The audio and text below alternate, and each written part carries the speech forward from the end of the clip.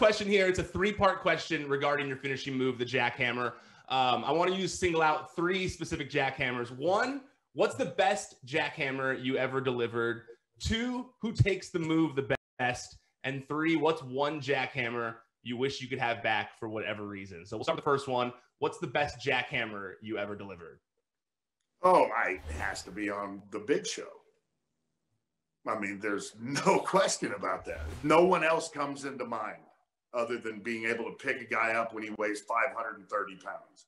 I mean, show me another guy who did that. Didn't happen. Um, and he, and what was your second question? Who took it the best? Yeah, who takes the move the best? That would be the big show. because if he didn't take it the best, it never could have happened. Correct? Absolutely.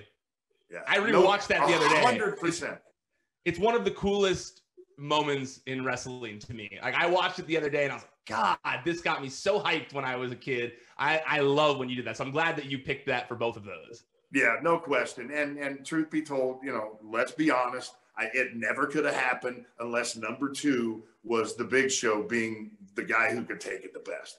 It's just physics. It's just, you know, the, the guy's an unbelievable freak of nature as far as his athletic ability at the size that he. And lastly, and, what's one jackhammer you wish you could have back for whatever? Well, what do you think it is? I think I know the answer. Yeah, it's probably well, against yeah, the Undertaker. I mean, you know, no, hundred percent, hundred percent. And what people don't understand about that is that you know people bitch and moan about me hurting myself um, prior to getting into the ring and bleeding and gigging myself. Hey man, I don't do that. I do that for y'all. They don't understand. I do that for them because I have to do something beyond human belief to get myself into the Goldberg zone.